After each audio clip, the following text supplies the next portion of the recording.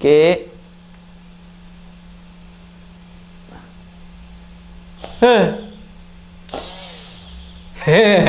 you saw that it glue for a second. Oh! Hi, in this video we are going to find out if it is a good idea to use blender motors as electric generators and these are rated at 220 to 240 volts DC. Now guys, I'm really happy to announce that the winner for the previous contest was Anuj Francis from Kerala, India and he has won this motor 12 volts 5 amperes. Pretty good huh? Let's see what project you make from this one. So without any further delay, let's get started. So guys, here I'm going to start the first test which is the voltage test. Meter has been pointed to DC mode.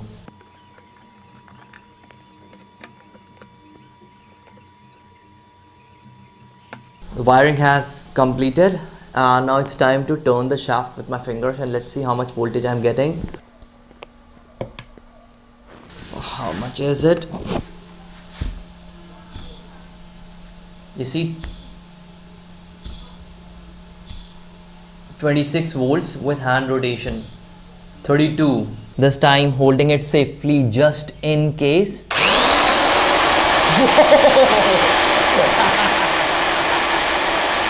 that was so good. 50 volts dc is really good. We can charge like 4 12 volts battery at the same time. Now guys this one that you see the green greenish one is a 12 volts high speed motor and i'm planning on using this one to run this uh, blender motor at high speed and see how much voltage it is going to generate now.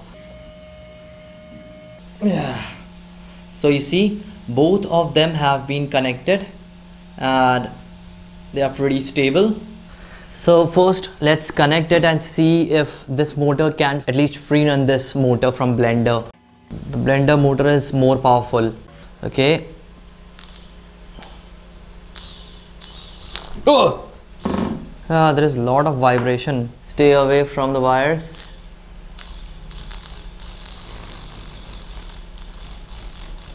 ah! Yeah.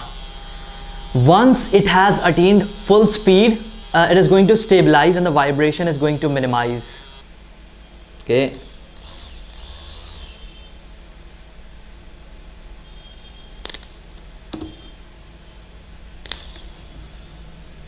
Okay. Once again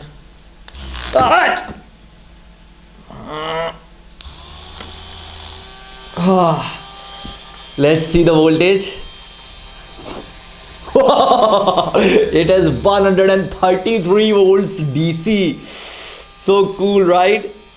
Let's power up the driving motor and see how many amps I can get. Actually uh, this time it is going to run very slow since it's under short circuit. This multimeter short circuits the output and then shows the current being generated let's see.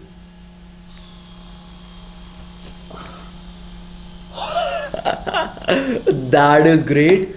Such a high voltage motor and still it is generating as high as 0.5 amperes. That is very good because the voltage is also high so considering that it's good. This what you see is the laptop charger. So initially i was running this green motor the driving motor with the laptop charger but now i'm going to force it to run at uh, 35 volts laptop charger output is 20 volts and now i'm going to force it to 35 volts with the printer power supply uh. Uh. how much voltage did we achieve oh it is very scary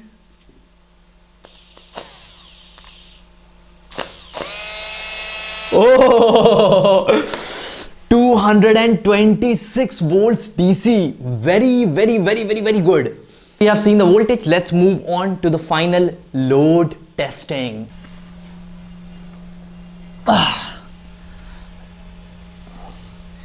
So guys here as you can see that I have this uh, how many watts? 18 watts LED bulb 220 volts.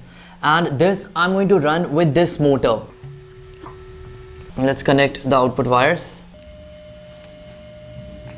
Okay let's keep the wires this side otherwise you people will say that I have connected home socket supply even if it closed. Ah, now the wires are not visible. Okay just trust me please. Okay.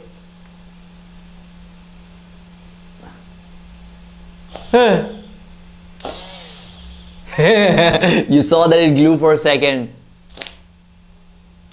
oh!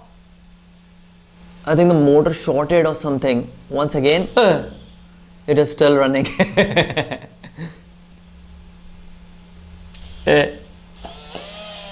Yeah you see the bulb is actually glowing. Now few of you will say this is producing DC output but this bulb glows on AC this is a fake video and uh, this bulb cannot glow on DC now I am going to tell them that these bulbs have SMPS supply that actually runs the LEDs inside. First, that SMPS supply converts the home socket AC to DC and then feeds it to the LED lights. And that is why it can still run on DC. So guys, now that all the lights are turned off, let's give it a try once more and see how it illuminates the room. Yeah, it is even difficult to see the terminals now. Okay. Uh. Oh. you see it is so bright. Oh wow. Pretty good, right? uh. Where is the terminal? Where are you? Oh, come on, where are you? Yeah, got it.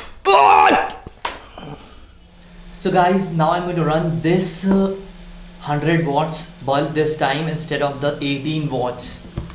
Let's see if it can uh, power this one up since it's 120 watts generator at max. So let's see how much it can do. So guys, the lights are off now. Okay, go. Yeah. Yeah. Yeah. What the fish? Why is it not running? Now guys, I have changed the power supply to laptop charger once again because that power supply has died and this motor got seriously damaged and uh, although I have uh, more pieces of these so I don't have that big a problem. Holding it like this. And go. You see that it is glowing so bright. Now this motor is under maximum power output. So I will say that this is a really really good generator. Although this uh, driving motor is heating up a lot I think I should stop it now as you have already seen it it works really well okay? Turning it off. Ah. so guys now that we are done with the project i'm really happy to share with you the changes that i have decided for the upcoming contest. Note that there is no hidden question in this video and uh, the hidden questions are going to come up from my next video so guys, the first change as you already know is that you have to correctly answer the hidden question for only two consecutive videos and be the first one to do it. And then you are going to be the winner for the contest. The second one is the great news. Uh, no longer shipping fees is going to be applied to my Indian winners since shipping in India is not that expensive. Now as for the winners outside India, shipping is obviously going to be higher. So shipping for them stays, but not to worry I've added an option that if they don't want to have the motor price cause uh, the shipping is considerably higher I will give them the opportunity to make a project request. Yeah yeah yeah. But note that the requested project should be related to my channel. Example motors generators inverters solar panels and yeah buck boost converter modules. So with that being said see you in the next one. Hit like share and subscribe and uh, get ready for the contest. Let's see who wins this time. Bye bye